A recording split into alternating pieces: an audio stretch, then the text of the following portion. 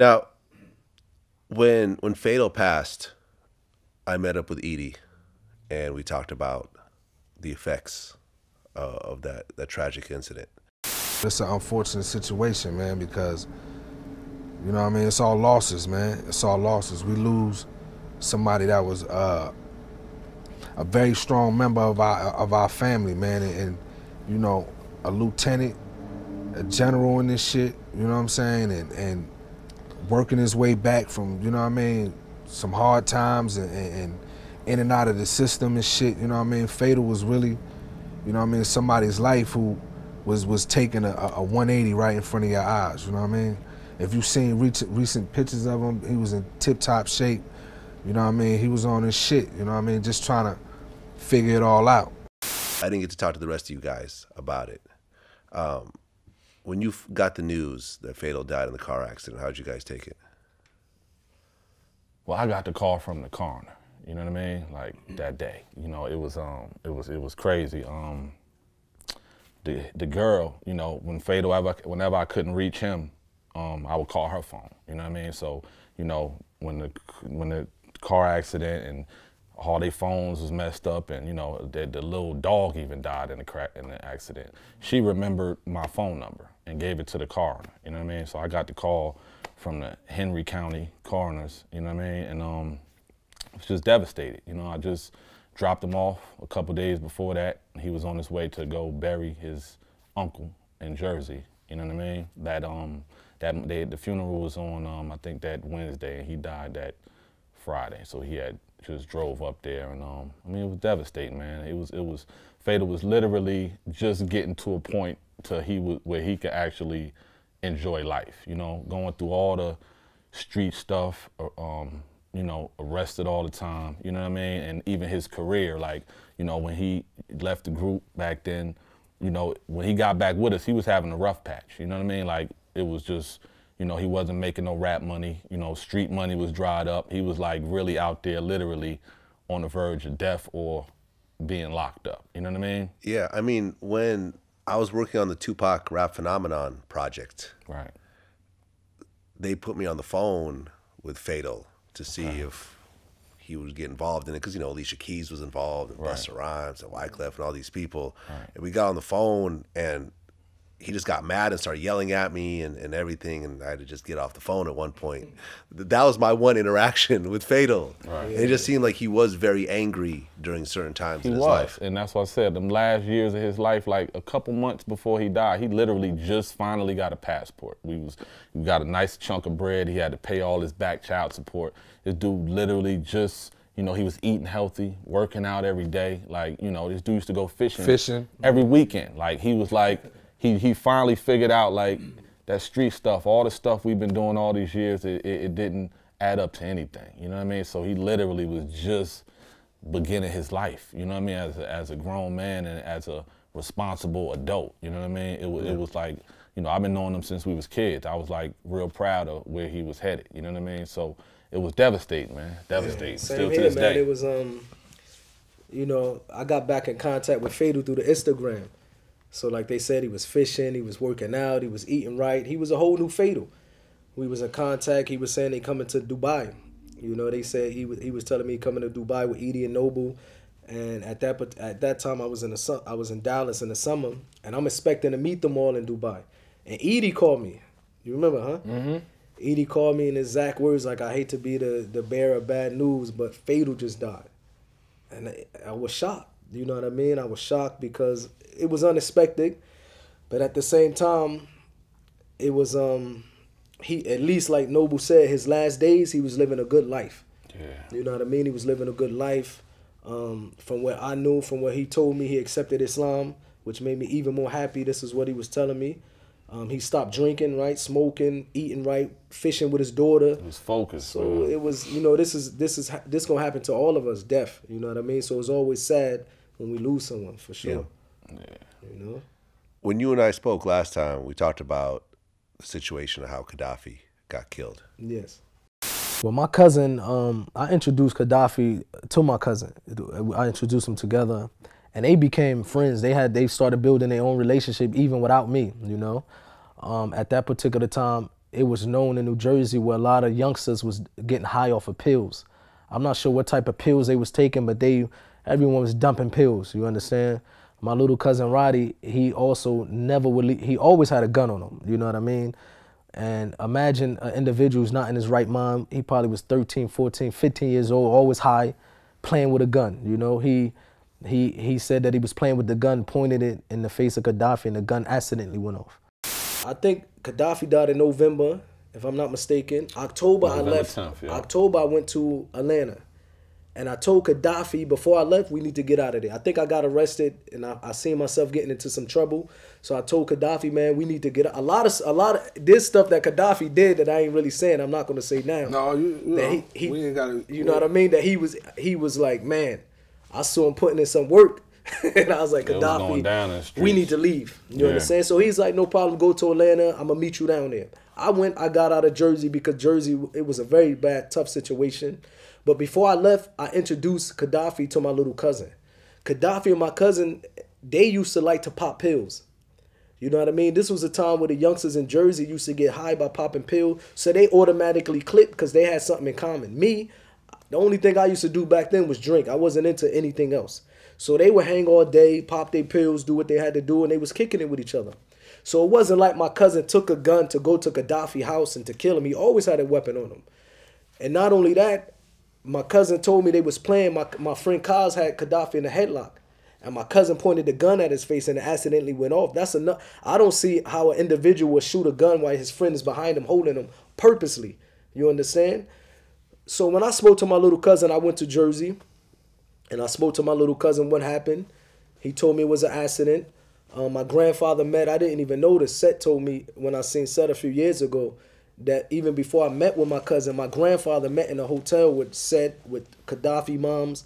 Um, I don't know if Faye was there, but with Kadafi family was Set and all of them was there. My grandfather was like, "What do you want us to do with him?" You understand? My grandfather said the same thing to Set and them. They said, "Well, we want him." Yak mother, Kadafi mother said, "Well, we want him to turn himself in." And my grandfather said, well, at least give him one day to spend times with his kids, but I promise he would be in jail. So not only was myself telling him, man, just turn yourself in, my family was wasn't backing that. My family was supporting him to go turn yourself in. You know what I mean? Mo, when we found out Kadafi had got shot, uh, we was at um, a Fanny's house. We was on the floor, on the floor asleep. I get the call from um, one of the homegirls that's was a friend of Kadafi's girl at the time, you know what I mean, and telling us. So immediately, you know, we knew what happened. She she said he did it. They came to the house. They was in the hallway, and it was just like you know, it was it was just hard to believe the whole accident thing, because you know when when it happened, you know, they was kids. They ran off, you know, and left. So when the girls opened, the, heard the shot and opened the door, you know, he was just he was there. You know what I mean? My- like my little cousin said, we was kids. He Right. said when I when we shot him, that's I didn't know what to do. That's the first time No, I of ever course shot somebody. gonna run. No doubt, So no he doubt. panicked and ran. You know what I mean? Immediately though, when we get on the phone, you know, I'm like, who did it? All this, you know, like Napoleon cousin. It was just, it was crazy. He get on the phone immediately, like the same, probably the same day. He wound up getting in touch with his cousin, and immediately was telling him to turn himself in. It was Yeah, I went like. to Jersey.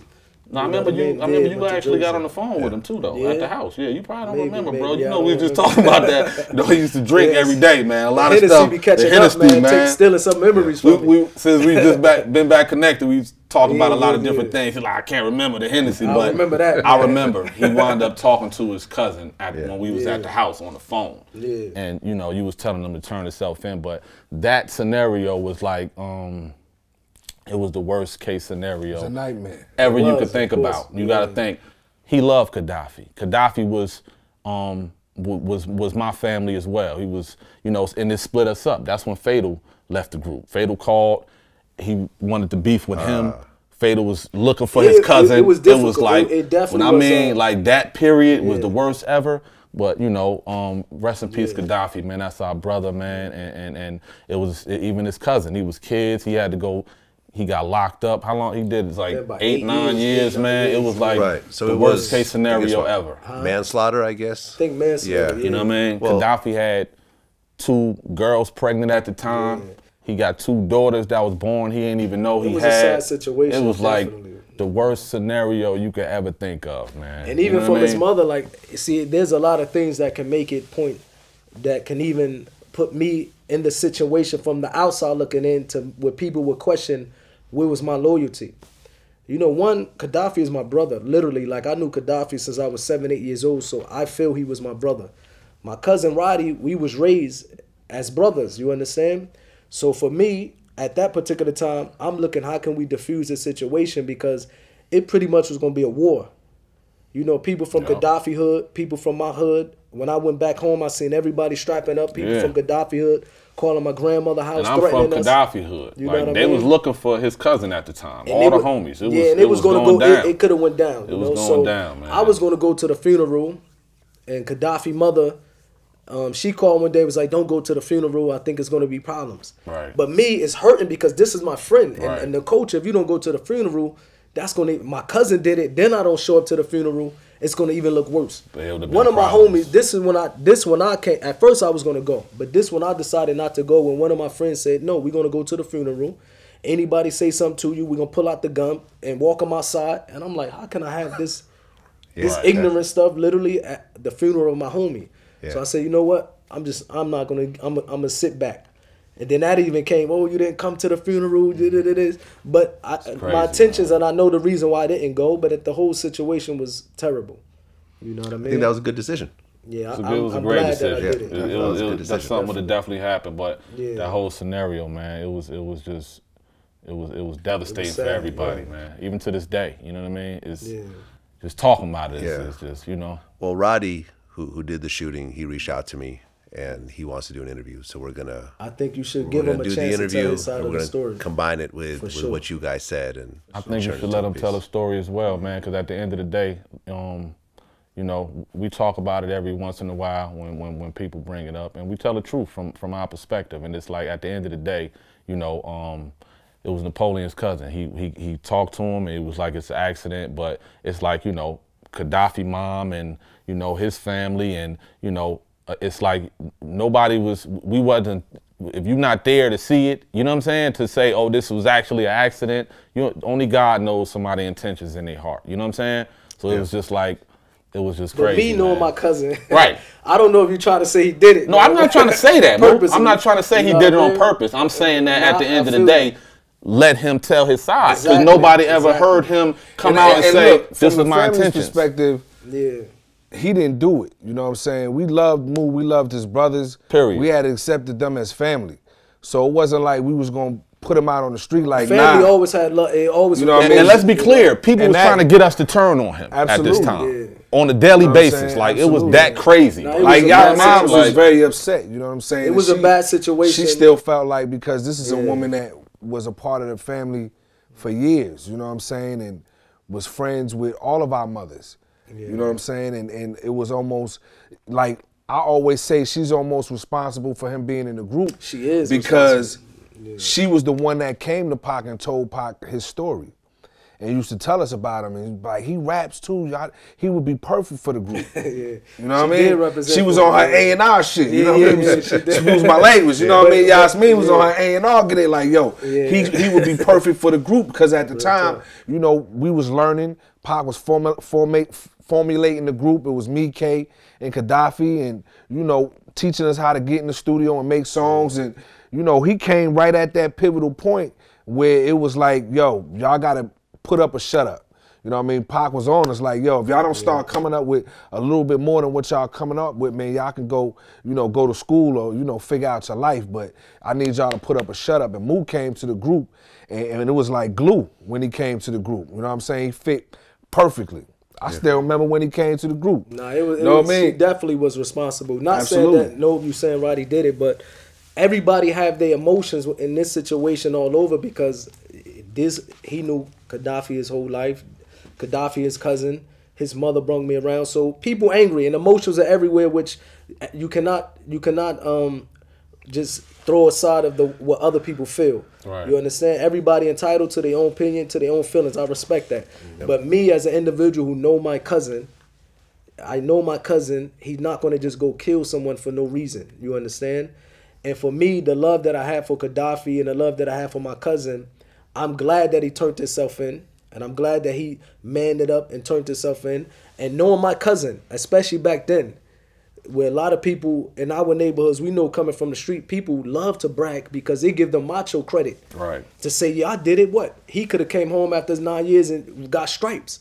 But even to this day, no matter what, he say no, it was an accident. He never went back on his word. You know what I mean? Yeah. So I do think it's a good idea to let him to um, interview him. But can I say something else? Which another thing that taught me the value of real friendship and family because you got to understand when my cousin killed Kadafi, I was around all Kadafi family as well, not only friends but family. Um, Pac moms is his aunt, his mother. I'm in a house alone, but they showed me the most. They showed me character. You understand? Because no one flipped on me. Even when people were saying things, move this, these brothers, they was taking up for me. The family was taking up for me. It showed me a side that I never seen that side of the ghetto life.